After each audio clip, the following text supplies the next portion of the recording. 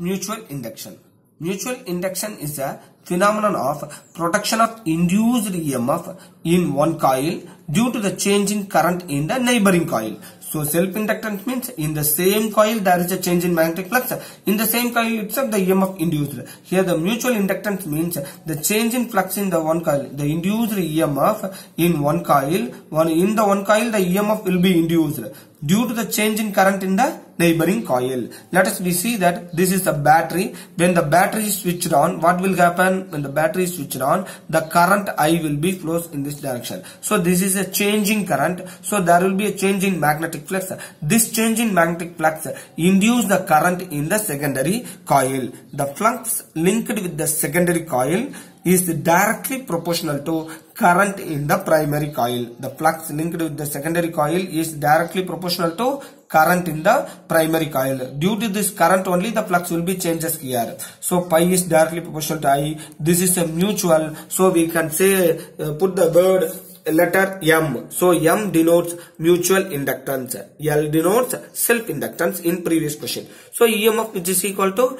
minus d pi by dt. So substitute that minus M di by dt because d pi by means I will be becomes di by dt. So what is the unit of mutual inductance? So M is there. So di by dt as usual same as self inductance formula 1 volt second ampere per minus 1. This is secondary. So mutual inductance also measured in Henry, self inductance also measured in Henry because it is a inductance. So H is equal to 1 uh, volt second per ampere. So we can define the Henry in terms of mutual inductance also. Already in previous video I explained that what is the definition of 1 Henry based on the self inductance. Now we are going to see that what is the 1 Henry based on mutual inductance. A mutual inductance of the coil is said to be 1 Henry if an induced EMF of 1 volt, induced EMF of 1 volt set up in the neighboring coil, set up in the neighboring coil so changes the rates with 1 ampere per second. So in the neighboring coil what is the change in uh, current? 1 ampere per second. So only in the secondary coil the emf is 1 volt means that is 1 henry mutual inductance of the coil is said to be 1 henry if an induced emf of 1 volt is set up in one coil when the current in neighboring changes at rate of 1 ampere per second so this is a mutual induction. Change in current in one uh, primary coil will induce the uh, EMF in the secondary coil. That is a mutual inductance. We now we are going to derive the expression for mutual inductance for two long solenoids which will be coaxially placed. So this is a first solenoid S1 this is the first solenoid S1. This is a second solenoid S2. The first solenoid radius is R1. Second solenoid turn radius is R2. Then the number of turns in the first solenoid is N1. Then the number of turns in the second solenoid is N2. The current in the first solenoid is I1 and the current in the second solenoid is I2. So we are taking a two different long solenoids. So L is the length of the solenoids. Both the solenoids have the same length. R1 and R2 are the radius and N1 and N2 are the number of turns and magnetic field set up in the second solenoid due to the current I2.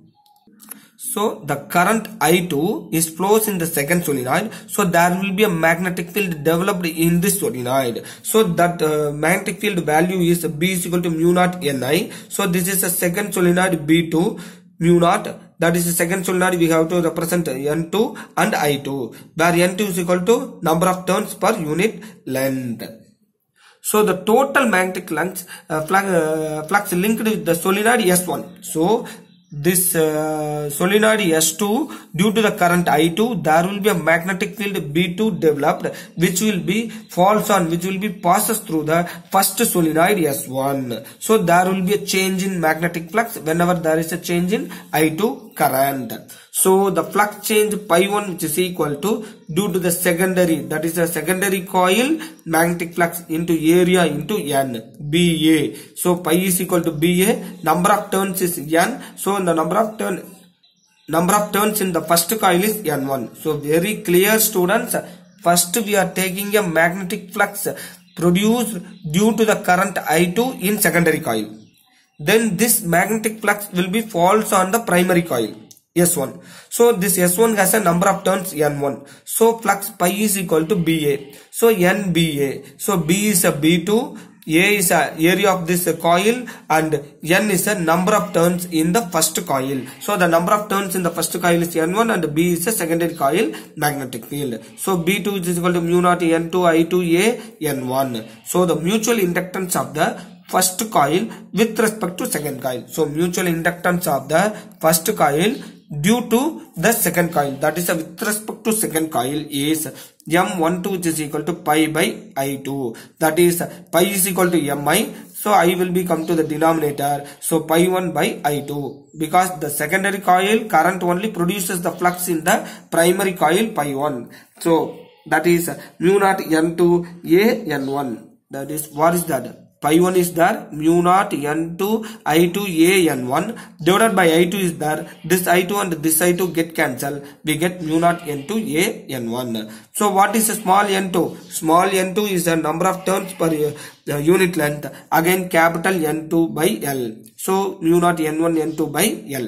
So similarly we can find that what is the mutual inductance of this uh, coil 2 with respect to first coil is pi 2 by i1 the same equation we arrived. So clearly m1 1 2 is equal to m21 mutual inductance of the primary coil with the secondary coil or mutual inductance of the secondary coil with respect to first coil both are same.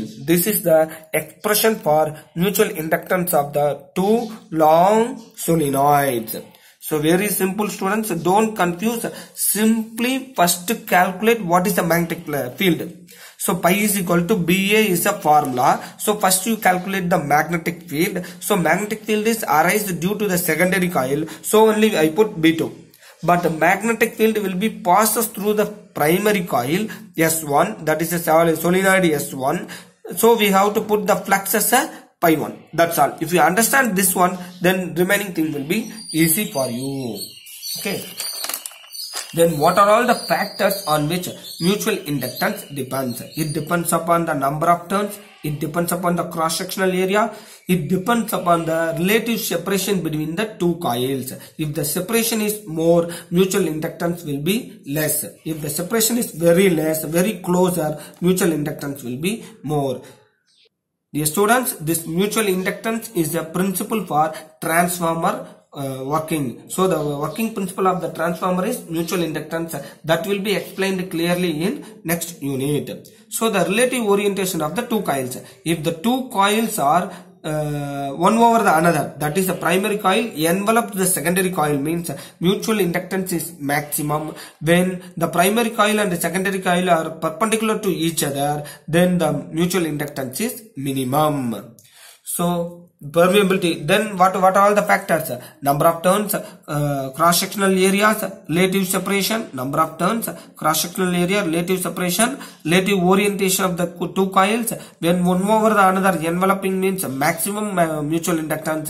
Perpendicular two coils are kept perpendicular to each other. 90 degree means mutual inductance is very very minimum. Then the it will depend upon the permeability. And finally the when the if you are changing that if you are inside the soft iron core all those things in the solenoid means the mutual inductance increased by relative permittivity times of that iron core. So what is the coefficient of coupling? So there is a two coils are coupled. So each coil has a self inductance l1 and l2 and it has a, both has a uh, mutual inductance m. So k is equal to m by root of l1 l2 if k is equal to 1 means that is a perfect coupling. So the perfect coupling occurs when the primary coil is wound over the secondary coil. So that is a, both are in the coaxial same. If the angle between them is zero means then coupling will be a maximum. If it is a perpendicular means coupling is zero. There is a no coupling no mutual inductance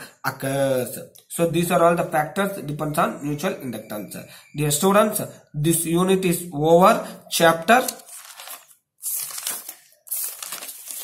We are detailedly studied about chapter 6 electromagnetic induction. What is a magnetic flux then we are uh, flux is equal to ba cos theta.